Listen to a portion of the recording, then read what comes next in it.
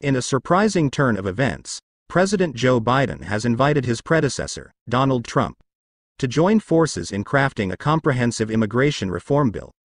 The unexpected proposal came as both leaders independently visited the U.S. Mexico border, each with their own objectives and concerns about the current state of immigration. The border visit. President Biden and former President Trump separately toured different sections of the border, highlighting their distinct perspectives on immigration policy. Biden's visit aimed to assess the situation on the ground, seeking solutions to the challenges posed by the influx of migrants. On the other hand, Trump's visit was characterized by his ongoing criticism of border security and immigration. In a press conference following their border visits, President Biden extended an unexpected invitation to Trump, suggesting a collaborative effort to address the long standing issues surrounding immigration. Biden emphasized the need for bipartisan cooperation to develop an immigration reform bill that could provide lasting solutions to the complex challenges at the border. While Biden and Trump have had starkly different approaches to immigration in the past, the invitation reflects a willingness to set aside political differences for the greater good.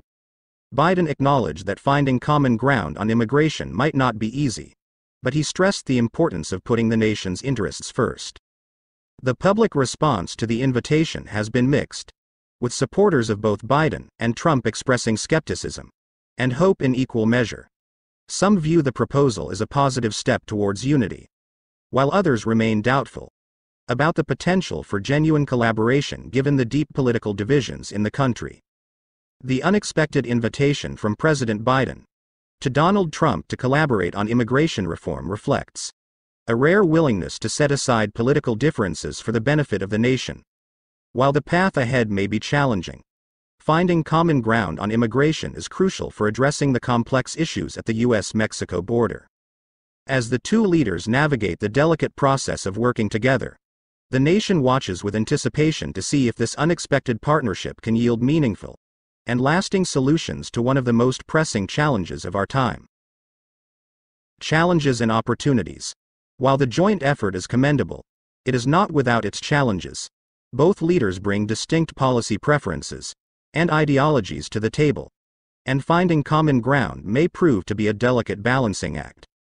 However, the potential benefits of a bipartisan immigration bill, which addresses the concerns of both conservatives and liberals, could be transformative for the nation's immigration system. During their visit, Biden and Trump are expected to engage in discussions about a comprehensive immigration bill that addresses border security, pathways to citizenship, asylum processes, and the treatment of migrant families. By inviting Trump to participate in these conversations, President Biden is signaling a commitment to inclusivity and a willingness to consider a range of perspectives. The collaboration also serves as a strategic move to garner bipartisan support for potential immigration legislation in Congress by presenting a united front. Biden and Trump may be better positioned to sway lawmakers on both sides of the aisle and overcome the historical challenges associated with passing comprehensive immigration reform. The United States has grappled with immigration issues for years, with policy debates often marked by deep ideological divides.